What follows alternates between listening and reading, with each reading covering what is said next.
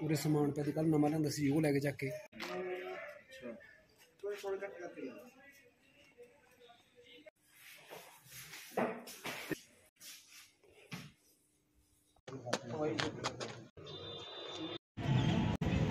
Battery ਜਿਹੜਾ ਕੀ ਲਾਉਂਦਾ ਸੀ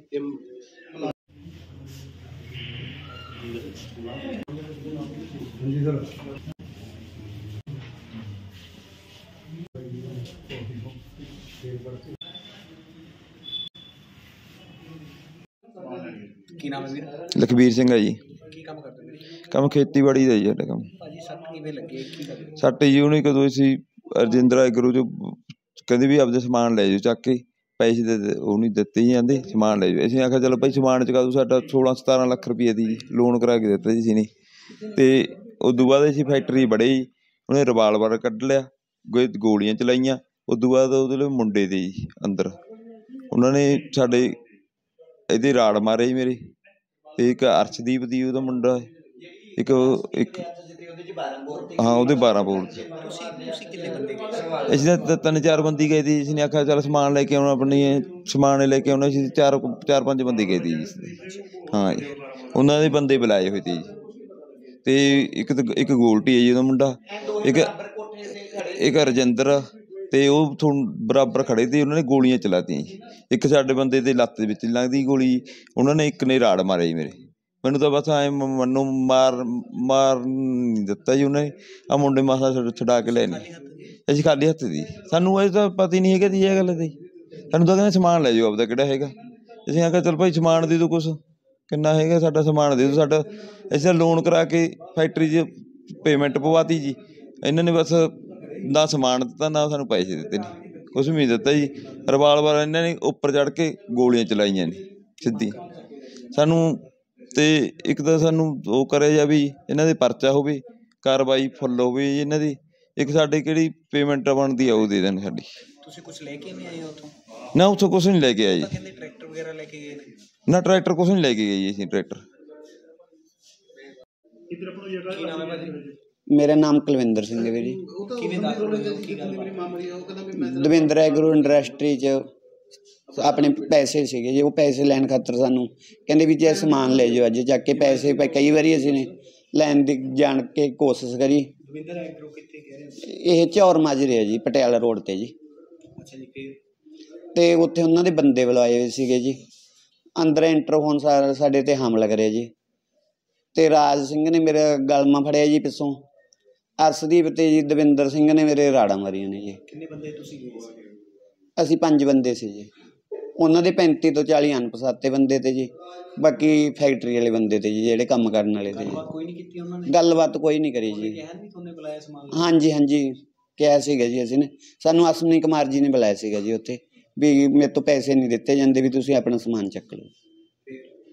ਫਿਰ ਜੀ ਉਹਨਾਂ ਨੇ ਤੇਜ਼ ਹਥਿਆਰਾਂ ਨਾਲ ਹਮਲਾ ਕਰਤਾ ਜੀ। ਪੂਰੇ ਮੇਰੇ ਢਿੱਡ ਤੇ ਮਰੇ ਜੀ। ਇੱਕਾ ਪੱਟ ਤੇ ਰੌੜ ਮਾਰੀ ਹੈ ਜੀ। ਕੀ ਮੰਗ ਕਰਦੇ ਹੋ? ਮੰਗਦਾ ਜੀ ਇਨਸਾਫ ਦੀ ਮੰਗ ਕਰਦੇ ਜੀ ਤੇ ਸਾਡੀ ਪੇਮੈਂਟ ਹੋਵੇ ਕੀ ਨਾਮ ਹੈ ਜੀ? ਅਸ਼ਵਨੀ ਕੁਮਾਰ ਜੀ। ਕੀ ਗੱਲ ਹੋਈ ਹੈ? ਤੁਹਾਡਾ ਝਗੜਾ ਕਿਹਦੇ ਨਾਲ ਹੋਇਆ? ਕਿੱਥੇ ਹੋਇਆ? ਅਸੀਂ ਜੀ 3 ਸਾਲ ਪਹਿਲਾਂ ਇੱਕ ਫੈਕਟਰੀ 'ਚ ਹਿੱਸਾ ਪਾਇਆ ਸੀ 25 ਪੈਸੇ 'ਚ।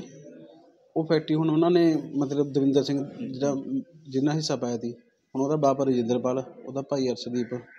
ਤੇ ਉਹਨਾਂ ਨੇ ਮਤਲਬ ਹਿਸਾਬ ਕਿਤਾਬ ਦੇ ਵਿੱਚ ਗੜਬੜਾ ਕਰ ਰੱਖਿਆ ਸੀਗਾ। ਅਸੀਂ ਕਿਹਾ ਵੀ ਇਹਨੂੰ ਨਵੇੜੀ, ਆਪਾਂ ਜਿਹਦਾ ਸਮਾਨ ਪਿਆ, ਆਪਾਂ ਫੈਕਟਰੀ ਅੱਗੇ ਨਹੀਂ ਚਲਾਉਂਦੇ।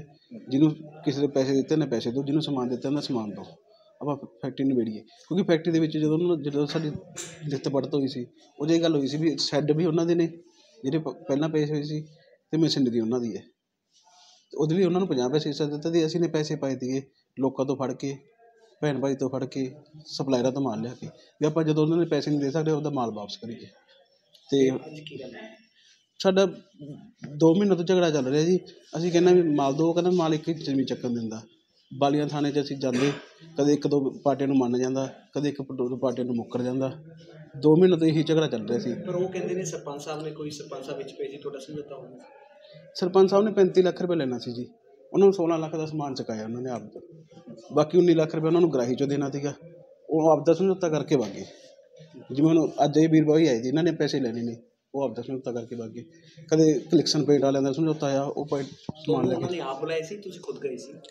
ਅਸੀਂ ਤਾਂ ਜੀ ਫੈਕਟਰੀ 'ਚ ਮਤਲਬ ਕਿ ਉਹ ਜਾਂਦਿਆਂ ਧਮਕੀਆਂ ਦਿੰਦੇ ਸੀ। ਅੱਜ ਵੀ ਅਸੀਂ ਚਾਰ ਮੈਂ ਆਪਣੀ ਭੈਣ ਨੂੰ ਆਪਣੀ ਜੀਜੇ ਨੂੰ ਨਾਲ ਲੈ ਕੇ ਗਿਆ ਸੀ। ਵੀ ਆਪਾਂ ਬੈਠ ਕੇ ਭਾਈ ਇਹਨੂੰ ਨ- ਨ- ਨਿਬੇੜੀਏ। ਤੁਸੀਂ ਹੁਣ ਉਹ ਸਮਾਨ ਡੇਲੀ ਵੇਚ ਰਹੇ ਨੇ ਡੇਲੀ ਬਣਾ ਰਹੇ ਨੇ। ਨਾ ਤਾਂ ਉਹ ਸਾਡੀ ਸਮਝ ਤੋਂ ਬਾਹਰ ਹੈ ਇੱਕ ਫਰਮ ਆਪਦੀ ਹੋਰ ਚਲਾ ਰੱਖਿਆ ਪਿਛਲੀ ਕੋਈ ਸਾਨੂੰ ਸਮਝ ਤੋਂ ਬਾਹਰ ਹੈ ਵੀ ਕੀ ਘਪਲੇ ਚੱਲ ਰਹੇ ਨੇ। ਭਾਜੀ ਉਹਨਾਂ ਨੇ ਇਹ ਇਲਜ਼ਾਮ ਲਗਾਏ ਨੇ ਕਿ ਤੁਸੀਂ 30 40 ਬੰਦੇ ਗਏ। ਵੀਰ ਜੀ ਮੇਰੀ ਭੈਣ ਭਾਈ ਦਾ ਲਾ ਕੇ 7-8 ਬੰਦੇ ਤਾਂ ਅਸੀਂ ਸੀ। ਪੰਜ ਕੁਲਵਿੰਦਰ ਨਾਲ ਆਏ ਸੀਗੇ ਪੰਜ ਚਾਰ ਲੱਖੀ ਨਾਲ ਆਏ ਸੀ। ਜੇ 20 ਬੰਦਿਆਂ ਨੂੰ 30 40 ਕਰੋ 50 ਕਿਲੋ ਉਹ ਤਾਂ ਆਪਾਂ ਕੁਝ ਕਹਿ ਨਹੀਂ ਸਕਦੇ ਸੀ। ਉਸ ਤੋਂ ਬਾਅਦ ਜਦੋਂ ਤੁਸੀਂ ਗਏ ਕੋਈ ਬੈਠ ਕੇ ਗੱਲਬਾਤ ਹੋਈ?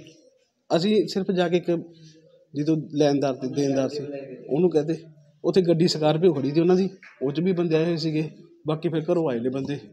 ਭਾਜੀ ਉਹਨਾਂ ਨੇ ਇਹ ਵੀ ਕਿਹਾ ਕਿ ਉਹਨਾਂ ਦੇ ਮੁਲਾਜ਼ਮਾਂ ਦੇ ਫੋਨ ਖੋਏ ਗਏ ਟਰੈਕਟਰ ਲੈ ਕੇ ਜਾਇਆ ਗਿਆ ਕੀ ਗੱਲ ਇਹ ਗੱਲ ਚ ਕਿੰਨੀ ਸੱਚਾਈ ਹੈ? ਵੀਰ ਜੀ ਟਰੈਕਟਰ ਟੂਟਰ ਵਾਲੀ ਗੱਲ ਤਾਂ ਕੋਈ ਨਹੀਂ। ਮੁਲਾਜ਼ਮ ਜਦੋਂ ਵੀਡੀਓ ਬਣਾਉਂਦੇ ਸੀ ਇਹਨੂੰ ਕਹਿੰਦੇ ਵੀ ਵੀਡੀਓ ਨਾ ਬਣਾ।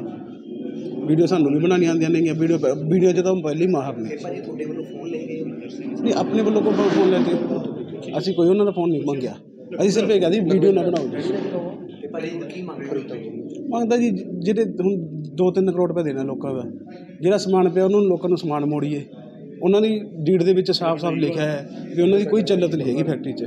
ਅਸੀਂ ਸਾਡੀ ਚੱਲਤ ਹੈ ਲੋਕ ਸਾਨੂੰ ਟੋਕਦੇ ਨੇ। ਕਿੰਨੇ ਟਾਈਮ ਤੋਂ ਪਾਰਟਨਰਸ਼ਿਪ ਸੀ ਤਿੰਨ ਸਵਾ ਤਿੰਨ ਸਾਲ ਤੋਂ। ਅਸੀਂ ਤਾਂ ਇਹ ਕਹਿੰਦੇ ਵੀ ਜਿਹੜਾ ਇਹਨੂੰ ਹਿਸਾਬ ਦਾ ਉਹਨੂੰ ਲੋਕਾਂ ਦੇ ਪੂਰੇ ਕਰੇ ਜਾਣ। ਗਰਾਹੀ ਵਾਲੇ ਗਰਾਹੀ ਸਮਾ ਦਿਓ ਕਿਸੇ ਨੂੰ। ਪਰ ਸਾਡਾ ਖਹਿੜਾ ਤਾਂ ਛੁੱਟ ਦੇ ਜੀ। ਆ ਅਸੀਂ ਉਮਰ 'ਚ ਜਾ ਕੇ ਦੱਸ ਕੀ? ਫਾਇਰ ਤਾਂ ਜੀ ਉਹਨਾਂ ਨੇ ਪਹਿਲਾਂ ਤਾਂ ਤੇਜ਼ ਤਾਰਾਂ ਹਥਿਆਰਾਂ ਨਾਲ ਹਮਲਾ ਕੀਤਾ ਭਾਰਤ ਦੇ ਫਾਇਰ ਕੀਤੇ ਨੇ। ਜਿਹੜਾ ਅਰਸ਼ਦੀਪ ਸੀਗਾ ਉਹਦੇ ਕੋਲੇ 12 ਬੋਰ ਸੀਗੀ।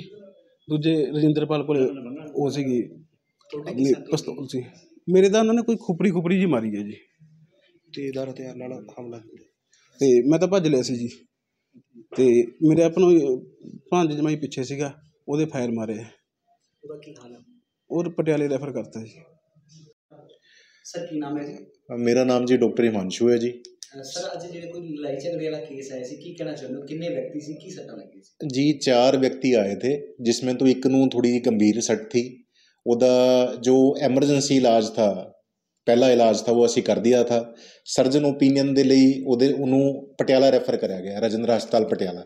ਜੋ ਬਾਕੀ ਦੇ ਤਿੰਨ ਵਿਅਕਤੀ ਥੇ ਉਹਨਾਂ ਨੂੰ ਅਸੀਂ ਮਤਲਬ ਦਾਖਲ ਕਰਿਆ ਹੋਇਆ ਹੈ ਸਰਜੀਕਲ ਬੋਰਡ ਕੇ ਅੰਦਰ। ਸਰ ਕਿੱਥੇ ਝਗੜਾ ਹੋਇਆ ਸੀ? ਕੀ ਸੰਗਰੂਰ ਦੇ ਰਹਿਣ ਵਾਲੇ ਨੇ ਕਿ ਬਾਹਰ ਦੇ ਜੀ ਉਹਨਾਂ ਦੇ ਮੁਤਾਬਿਕ ਤਾਂ ਉਹ ਸੰਗਰੂਰ ਦੇ ਰਹਿਣ ਵਾਲੇ ਥੇ। ਡ੍ਰੀਮਲੈਂਡ ਕਲੋਨੀ ਦੇ ਆਪੋਜ਼ਿਟ ਹੈ ਕੋਈ ਚੋੜ ਮਾਜਰਾ ਪਿੰਡ। ਉਧਰ ਲੜਾਈ ਹੋਈ ਥੀ ਉਹਨਾਂ ਦੇ ਮੁਤਾਬਿਕ। ਤੇ ਉਹ ਜਿਹੜੇ ਤਿੰਨ ਤੁਸੀਂ ਵਿਅਕਤੀ ਉੱਪਰ ਸਰਜੀਕਲ ਵਾਰਡ ਸ਼ਿਫਟ ਕੀਤੇ ਨੇ ਉਸ ਠੀਕ ਨੇ? ਉਹ ਠੀਕ ਹੈ ਕੰਪੈਰੀਟਿਵਲੀ ਸਟੇਬਲ ਹੈ ਜੀ। ਕੀ ਨਾਮ ਹੈ ਸਰ? ਅਹ ਰਜਿੰਦਰਪਾਲ ਹੈ ਸਰ ਜੀ ਰਜਿੰਦਰ ਐਗਰੋ ਅਹ ਸਰ ਕੀ ਗੱਲਬਾਤ ਹੋਈ ਹੈ ਤੇ ਕਦੋਂ ਹੋਈ ਹੈ? ਗੱਲਬਾਤ ਸਰ ਜੀ ਇਸ ਤਰ੍ਹਾਂ ਸੀ ਵੀ ਸਾਡਾ ਨਾ ਕੁਛ 5-6 ਮਹੀਨਿਆਂ ਤੋਂ ਜਿਹੜੇ ਪਾਰਟਨਰ ਸੀ ਸਾਡੇ, ਉਹਨਾਂ ਨੂੰ ਬਾਰ-ਬਾਰ ਅਸੀਂ ਕਹਿੰਦੇ ਸੀ ਵੀ ਆਪਣਾ ਜੋ ਹਿਸਾਬ ਕਿਤਾਬ ਆ ਉਹ ਆਪਾਂ ਕਰ ਲਓ ਤੇ ਵੀ ਅਸੀਂ ਕੰਮ ਚਲਾਉਣਾ ਜਾਂ ਫਿਰ ਤੁਸੀਂ ਕੰਮ ਚਲਾਓ, ਪੈਸੇ ਲਾਓ। ਨਾ ਤਾਂ ਉਹ ਪੈਸਾ ਲਾਉਂਦੇ ਸੀ ਕੋਈ, ਨਾ ਕੰਮ ਚੱਲਣ ਦਿੰਦੇ ਸੀ, ਨਾ ਆਪ ਚਲਾਉਂਦੇ ਸੀ। ਇਸ ਵਜ੍ਹਾ ਕਰਕੇ ਅਸੀਂ ਕਈ ਵਾਰੀ ਇਹਨਾਂ ਨੂੰ ਕਿਹਾ। ਉਸ ਤੋਂ ਬਾਅਦ ਜਦੋਂ ਸਾਡਾ ਕਾਰੋਬਾਰ ਹੀ ਠੱਪ ਪਿਆ ਸੀ, ਅਸੀਂ ਕੁਝ ਕਰ ਨਹੀਂ ਸਕਦੇ ਸੀ ਹੋਰ। ਤੇ ਉਸ ਤੋਂ ਬਾਅਦ ਇਹਨਾਂ ਨੇ ਸਮਾਨ ਚੱਕੀ ਗਏ, ਇੱਥੋਂ 65 70 ਲੱਖ ਦਾ ਸਮਾਨ ਪਹਿਲਾਂ ਚੱਕ ਕੇ ਲੈ ਗਏ, ਸਰ ਜੀ। ਫਿਰ ਉਸ ਤੋਂ ਬਾਅਦ 15 ਤਰੀਕ ਨੂੰ ਇੱਕ ਆਪਣਾ ਈਲਵਾਲ ਤੋਂ ਸਰਪੰਚ ਸਾਹਿਬ ਨੇ, ਉਹਨਾਂ ਨੇ ਉਰੇ ਆ ਕੇ ਇਹ ਗੱਲ ਕੀਤੀ, ਕਹਿੰਦੇ ਜੀ ਤੁਸੀਂ ਐਂ ਕਰੋ, ਇਹਨਾਂ ਨੂੰ ਸਮਾਨ ਚੁਕਾ ਦਿਓ, ਕੁਛ ਨਾ ਕੁਛ। ਹਾਲਾਂਕਿ ਉਹ ਕਹਿੰਦਾ ਵੀ ਮੈਂ ਸਮਾ, ਇਹਨਾਂ ਤੋਂ ਪੈਸੇ ਲੈਣੇ ਨੇ, ਅਸ਼ਵਨੀ ਤੋਂ। ਵੀ ਜਦੋਂ ਅਸ਼ਵਨੀ ਤੋਂ ਪੈਸੇ ਲੈਣੇ ਨੇ, ਫਿਰ ਸਾਡੇ ਲਵੇ ਕੀ ਕਰਨ ਆਇਆ ਜੀ ਉਹ? ਉਹ ਕਹਿੰਦਾ ਤੁਸੀਂ ਸਮਾਨ ਚੁਕਾਓ ਰੋ ਧੱਕੇ ਨਾਲ ਗੁੰਡਾਗਰਦੀ ਕੀਤੀ ਆ। ਪਿੰਡ ਦੇ ਵਿੱਚੋਂ ਬੰਦੇ ਲੈ ਕੇ ਆਇਆ ਜੀ ਉਹ। ਤੇ ਇੱਕ ਇਹ ਜਿਹੜਾ ਅਸ਼ਵਨੀਆਂ, ਇਹਦੇ ਜਿਹੜੇ ਮੁਲਾਜ਼ਮ ਨੇ, ਉਹ ਗੁੰਡਾਗਰਦੀ ਕਰਦੇ ਨੇ ਪੂਰੀ। ਕਦੇ ਕਿਸੇ ਮੰਤਰੀ ਦਾ ਨਾਮ ਲੈਂਦੇ ਨੇ, ਕਦੇ ਕਿਸੇ ਮੰਤਰੀ ਦਾ ਨਾਮ ਲੈਂਦੇ ਨੇ ਵੀ ਹਾਂ, ਅਸੀਂ ਉਹਨਾਂ ਦੇ ਬੰਦੇ ਆਂਗੇ, ਅਸੀਂ ਐਂ ਕਰ ਦਾਂਗੇ, ਅਸੀਂ ਐਂ ਕਰ ਦਾਂਗੇ। ਨਾਲੇ ਸਾਡੇ ਸਾਡੇ ਨਾਲ ਇਹ ਵੀ ਗੱਲ ਕੀਤੀ ਇਹਨਾਂ ਨੇ ਵੀ ਤੁਸੀਂ ਕਾਰੋਬਾਰ ਚਲਾਓ ਆਪਦਾ। ਕਾਰੋਬਾਰ ਚਲਾਓ ਵੀ ਅਸੀਂ ਆਪਦਾ ਜਿਵੇਂ ਵੀ ਹੈਗਾ ਕੰਮ ਅਸੀਂ ਆਪੇ ਉਹ ਕਰਾਂਗੇ। ਤੇ ਕਾਰੋਬਾਰ ਚਲਾਉਣ ਦੀ ਕੋਸ਼ਿਸ਼ ਕੀਤੀ, ਅਸੀਂ ਲੋਕਾਂ ਤੋਂ ਪੈਸੇ ਫੜ ਕੇ ਧਾਰ ਸੁਧਾਰ ਹੈਂ ਜੀ? ਤੇ ਕੰਮ ਚਲਾਉਣ ਦੀ ਕੋਸ਼ਿਸ਼ ਕੀਤੀ, ਸਾਡਾ ਉਹ ਵੀ ਸਮਾਨ ਚੱਕ ਕੇ ਲੈ ਗਏ, ਸਰ ਜੀ। ਫਿਰ ਮੈਂ ਲਾਸਟ ਤੇ ਆ ਕੇ ਜਦੋਂ ਆਪਣੇ ਏਐਸਆਈ ਸਾਹਿਬ ਨੇ ਕਿਹਾ ਕਹਿੰਦੇ ਜੀ ਐਂ ਕਰੋ ਤੁਸੀਂ ਕੁਛ ਨਾ ਕੁਛ ਇਹਨਾਂ ਨੂੰ ਸਮਾਨ ਚੁਕਾ ਦਿਓ ਵੀ ਤੁਹਾਡਾ ਨਿਬੜਿਆ ਦਿੰਨੇ ਆ ਚਲੋ ਜੀ ਅਸੀਂ 15 ਲੱਖ ਰੁਪਏ ਦਾ ਸਮਾਨ ਅਸੀਂ ਆਹ 22 ਅ, ਆਪਣੇ ਆ ਪਿੱਛੇ ਜੇ ਤਿੰਨ ਚਾਰ ਦਿਨ ਪੰਜ ਕੁ ਦਿਨ ਪਹਿਲਾਂ ਚੁਕਾ ਕੇ ਜੁਮੇ ਵਾਲੇ ਦਿਨ ਦੀ ਗੱਲ ਆ ਸਰ ਜੀ ਆ ਪਿੱਛੇ ਜਿਹੜਾ ਜੁਮਾ ਸੀ ਨਾ ਉਸ ਦਿਨ ਅਸੀਂ ਸਮਾਨ ਚੁਕਾ ਕੇ ਮੈਂ ਕਿਹਾ ਮੈਂ ਕਿਹਾ ਸਰ ਜੀ ਸਾਡੀ ਕੋਈ ਲਿਖਤ ਲੁਖਤ ਕਰ ਦਿਓ ਇਹ ਕਰਦੇ ਨੇ ਗੁੰਡਾਗਰਦੀ ਕੱਲ ਨੂੰ ਫੇਰ ਕੋਈ ਬੰਦਾ ਆ ਕੇ ਸਾਡਾ ਨੁਕਸਾਨ ਕਰੂਗਾ ਕੀ ਫਾਇਦਾ? ਚਲੋ ਕਹਿੰਦੇ ਵੀ ਕੋਈ ਗੱਲ ਨਹੀਂ ਤੁਹਾਨੂੰ ਕੋਈ ਦਿੱਕਤ ਨਹੀਂ ਆਊਗੀ। ਵੀ ਅਸੀਂ ਨਾਲ ਆ ਤੁਹਾਡੇ। ਉਸ ਤੋਂ ਬਾਅਦ ਸਰ ਜੀ ਤੇ ਆ ਬਾਅਦ ਚ ਵੀ ਆਉਂਦੇ ਰਹੇ ਨੇ ਜੀ ਬੰਦੇ ਉਹ। ਫਿਰ ਉਹ ਵਿੱਚ ਦੀ ਆ ਦੋ ਦਿਨ ਹੋ ਗਏ ਹਟ ਗਏ ਸੀ। ਅੱਜ ਸਵੇਰੇ ਤੜਕੀ ਤੇ ਅਸੀਂ ਮੈਂ ਨਹਾ ਰਿਹਾ ਸੀਗਾ ਜੀ ਆ ਕੇ ਮੁੰਡੇ ਨੂੰ ਫੜ ਲਿਆ ਜੀ ਉਹਨਾਂ ਨੇ। ਮੁੰਡੇ ਨੂੰ ਫੜ ਕੇ ਚਲੋ ਤਾਂ ਮੁੰਡਾ ਸਿਆਣਾ ਸੀ ਚਲੋ ਅੰਦਰ ਆ ਗਿਆ। ਸਾਰੇ ਗੇਟ ਗੂਟ ਸਾਡੇ ਤੋੜ ਕੇ ਸਮਾਨ ਲੈ ਗਏ। 30 35 ਲੱਖ ਰੁਪਏ ਦਾ 30 ਲੱਖ ਵਾਂਗੂ ਸਮਾਨ ਸੀ ਸਰ ਜੀ ਮੇਰਾ। ਮੇਰਾ ਲਓ ਲੋਹੇ ਦਾ ਸਮਾਨ ਕੱਲ ਮੈਂ ਛਾਪਟਾਂ ਲੈ ਕੇ ਆਇਆ ਉਹ ਮੇਰਾ ਵਿੱਚ ਹੀ ਸਮਾਨ ਲੈ ਗਏ ਪੁਲੀਆਂ ਲੈ ਗਏ ਜੀ। ਜਿੰਨਾ ਵੀ ਸਮਾਨ ਝਾਰ ਨਹੀਂ ਸੀ 100 ਦੇ ਲਵੇ ਉਹ ਵੀ ਚੱਕ ਕੇ ਲੈ ਗਏ। ਹੈ ਜੀ ਸਾਡਾ ਕੰਪਿਊਟਰ ਸੀ ਜਿੰਨਾ ਵੀ ਮੇਰਾ ਇੱਧਰ ਡੀ ਸੀ ਕੈਮਰੇ ਤੋੜੇ ਪਹਿਲਾਂ ਜੀ ਉਹਨਾਂ ਨੇ ਆ ਕੇ ਕੈਮਰੇ ਤੋੜ ਕੇ ਗੁੰਡਾਗਰਦੀ ਕੀਤੀ ਹੈ ਸਰ ਜੀ। ਟਰੈਕਟਰ ਸੀਗਾ ਮੇਰਾ ਸਵਰਾਜ ਉਹ ਵੀ ਲੈ ਕੇ ਚੱਕ ਕੇ ਸਰ ਜੀ। ਲੋਕਾਂ ਦਾ ਸਮਾਨ ਪਿਆ ਸੀ ਮੇਰੇ ਲਵੇ ਅੰਦਰ। ਇੱਕ ਮਾਡਲ ਟਾਊਨ ਤੋਂ ਇੱਕ ਸਰਪੰਚ ਦੀ ਮਸ਼ੀਨ ਆਈ ਹੋਈ ਸੀ ਰੰਗ ਰੁੰਗ ਕਰਨ ਵਾਸਤੇ ਉਹ ਵੀ ਚੱਕ ਕੇ ਕ- ਕੋਈ ਟਰੈਕਟਰ ਮਗਰ ਪਾ ਕੇ ਲੈ ਗਏ ਜੀ। ਕੋਈ ਹਥਿਆਰ ਪੰਜ ਛੇ ਵਗੈਰਾ- ਟਰੈਕਟਰ। ਹਥਿਆਰ ਵਗੈਰਾ ਵੀ ਲੱਗੇ ਗਏ ਨੇ ਹਥਿਆਰ ਵਗੈਰਾ ਨਹੀਂ ਲੈ ਕੇ ਗਏ ਜੀ ਕੋਈ ਪਰ ਇੱਕ ਮੁੰਡਾ ਸੀਗਾ ਉਹਦੇ ਵਿੱਚ ਜਦੋਂ ਮੈਂ ਨਾ ਜਦੋਂ ਜ਼ਿਆਦਾ ਗੁੰਡਾਗਰਦੀ ਕਰਦੇ ਸੀ ਚਲੋ ਜੀ ਮੈਂ ਆਪਦੇ ਕੋਠੇ ਤੇ ਖੜ ਕੇ ਦੋ ਫਾਇਰ ਕੀਤੇ ਨੇਗੇ ਦੋ ਤਿੰਨ ਫਾਇਰ ਤੇ ਉਸ ਤੋਂ ਬਾਅਦ ਉਹ ਮਾੜੀ ਜੀ ਠੰਡੀ ਪਈ ਆ ਗੱਲ ਫੇਰ ਮੈਂ ਥੱਲੇ ਵਗ ਗਿਆ। ਮੈਂ ਆਪਦਾ ਪਿਸਟਲ ਲੈ ਕੇ ਥੱਲੇ ਵੀ ਗਿਆਗਾ ਜਾ ਕੇ ਮੈਂ ਕੋਈ ਮਾਰਨ ਦੇ ਚੱਕਰ 'ਚ ਨਹੀਂ ਸੀ ਕਿਸੇ ਮੈਨੂੰ ਸਿਰਫ ਇਹ ਸੀ ਵੀ ਡਰ ਜਾਣ ਉਹ ਤਾਂ ਭੱਜ ਜਾਣ। ਉਹਨਾਂ ਨੇ ਮੇਤੋਂ ਪਿਸਟਲ ਵੀ ਖੋਲਿਆ ਜੀ। ਪਿਸਟਲ ਵੀ ਖੋ ਕੇ ਲੈ ਗਏ ਜੋ ਲਖਵਿੰਦਰ ਮੁੰਡਾ ਇੱਥੋਂ ਲੱਖੀ ਲੱਖੀ ਇੱਕ ਸ਼ਰੀਫ ਆ ਮੁੰਡਾ ਜੀ ਆਪਣੀ ਖਰਾਣੀ ਪਿੰਡ ਤੋਂ ਲੱਖੀ ਈਲਵਾਲ ਤੋਂ ਆ। ਇਹੀ ਗੁੰਡਾਗਰਦੀ ਇਹਨਾਂ ਨੇ ਇੱਕ ਆਪਣਾ ਚੰਚਲ ਚੰਚਲ ਆ ਜੀ ਮੁੰਡਾ ਇੱਥੋਂ ਆਪਣੇ ਖਰਾਣੇ ਤੋਂ। ਤੇ ਇਹ ਸਾਰੇ ਗੁੰਡਿਆਂ ਨੂੰ ਲੈ ਕੇ ਜੀ ਇੱਥੇ ਸਾਡੀ ਫੈਕਟਰੀ ਦੇ ਵਿੱਚ ਵੜੇ ਸੀ। ਹੁਣ ਕੀ ਮੰਗ ਕਰਦੇ? ਮੰਗ ਸਰ ਜੀ ਇਹੀ ਕਹਿੰਨੇ ਵੀ ਅਸੀਂ ਤਾਂ ਪੁਲਿਸ ਨੂੰ ਕਹਿੰਨੇ ਆ ਜੀ ਦੇਖੋ ਸਾਨੂੰ 9 ਤਰੀਕ ਦੀ ਕੰਪਲੀਟ ਦਿੱਤੀ ਹੋਈ ਸੀ ਜੀ। ਇਹਨਾਂ ਨੇ ਇਹਨਾਂ ਨੇ ਸਾਡੇ ਤੇ ਕੰਪਲੀਟ ਦਿੱਤੀ ਸੀ। ਫਿਰ ਉਸ ਤੋਂ ਬਾਅਦ ਇਹਨਾਂ ਨੇ ਇੱਕ ਦਿਨ ਸਮਾਨ ਚੱਕਣ ਦੀ ਕੋਸ਼ਿਸ਼ ਕੀਤੀ ਸੀ। ਕੋਈ ਇਹ 22 ਤਰੀਕ ਦੇ ਲਵੇ ਲਾਉਣੇ ਦੀ ਗੱਲ ਹੈ ਜੀ। ਅਸੀਂ 23 24 ਤਰੀਕ ਨੂੰ ਅਸੀਂ ਕੰਪਲੀਟ ਵੀ ਕੀਤੀ ਸੀ। ਸਾਡੀ ਕੰਪਲੀਟ ਦੀ ਕੋਈ ਸੁਣਵਾਈ ਨਹੀਂ ਕੀਤੀ ਸਰ ਜੀ ਕਿਸੇ ਨੇ। ਮੈਂ ਬਾਰ-ਬਾਰ ਉਹਨਾਂ ਨੂੰ ਕਹਿੰਦਾ ਰਿਹਾ ਵੀ ਇਹ ਗੁੰਡਾਗਰਦੀ ਕਰਦੇ ਨੇ, ਗੁੰਡਿਆਂ ਵਾਂਗੂ ਫਿਰਦੇ ਨੇ ਇਹ, ਵੀ ਸਾਡਾ ਨੁਕਸਾਨ ਨਾ ਕਰ ਦੇਣ ਅੰਦਰੋਂ। ਪਰ ਉਹੀ ਨੁਕਸਾਨ ਅੱਜ ਜਿਹੜਾ ਇਹਨਾਂ ਨੇ ਕੀਤਾ ਸਾਡਾ। ਸਾਰੇ ਜਿੰਨਾ ਵੀ ਮੇਰਾ ਸਮਾਨ ਸੀ ਅੰਦਰ, ਜਿੱਥੇ ਮੇਰੀ ਕਾਗਜ਼ੀ ਕਾਰਵਾਈ ਸੀ, ਮੇਰੇ ਬਿੱਲ ਸੀ 35 40 ਲੱਖ ਰੁਪਏ ਦਾ 35 ਲੱਖ ਰੁਪਏ ਦਾ ਮੇਰਾ ਬਿੱਲਾਂ ਦੀ ਜਿਹੜੀ ਡਿਟੇਲ ਸੀ ਮੇਰੀ ਜਿਹੜਾ ਮੈਂ ਸਮਾਨ ਲਿਆਂਦਾ ਸੀ ਉਹ ਵੀ ਸਾਰੀਆਂ ਫਾਈਲਾਂ ਲੈ ਕੇ ਚੱਕ ਕੇ sir. Inspector Balwant Singh ji.